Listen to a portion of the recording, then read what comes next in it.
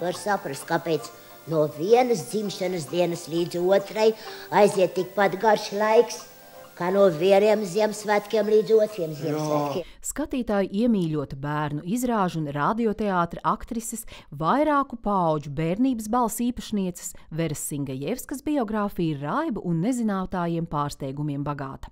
Tie, kuri viņu pazina, Singajevsku raksturo kā cilvēku, kurš mācēja radīt prieku.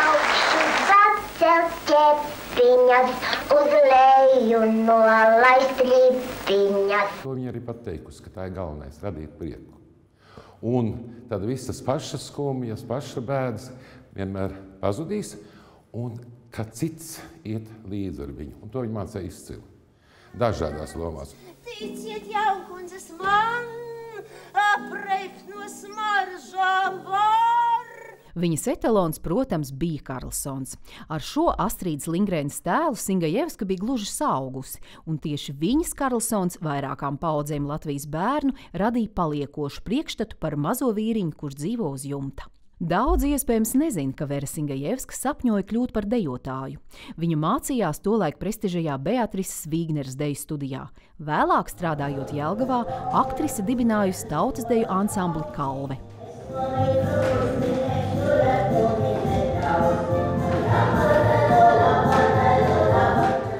Izstādē Eduarda Smilģa teātra muzejā aplūkojamas fotogrāfijas no izrādēm, dažādiem notikumiem, daži aktrises personīgie priekšmeti, arī dokumentālas liecības par aktrises dzīves gājumu. Tas ir 43. gadā izdotā apliecība, ka Vera Singajevska ir pilntiesīga bērnu dārzniece un skolotāja pirmajā klasē. Jo viņa bija tā, kas tiešām rūpējās un kā daļdārzniece ar bērniem audzināja, laistīja, bagātināja līdz pilnbriedam. Vera Singajevska audzināja, rūpējās un nodeva mīlestību pret teātri arī dēlam, aktierim Gundaram Aboliņam.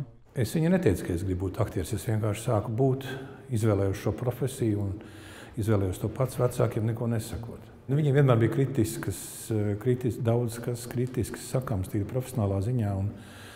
Man jau bija grūti spēlēt, kad viņa bija zālē. Te ir viņas biogrāfija, kur viņa piemin, ka viņa spēlējusi, ir dejojusi drāmas teātras skatuves zilajā putnā. Un tur ir tāda aina, tie nedzimušie bērni. Un tur ir par to, ka bērni nu, atlido pie vecākiem, un bērni izvēlas, pie kuriem vecākiem viņi būs.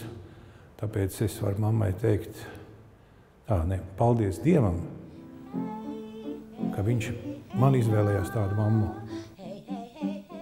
Līga Gaigala un Pēters Barkevičs, Latvijas televīzija.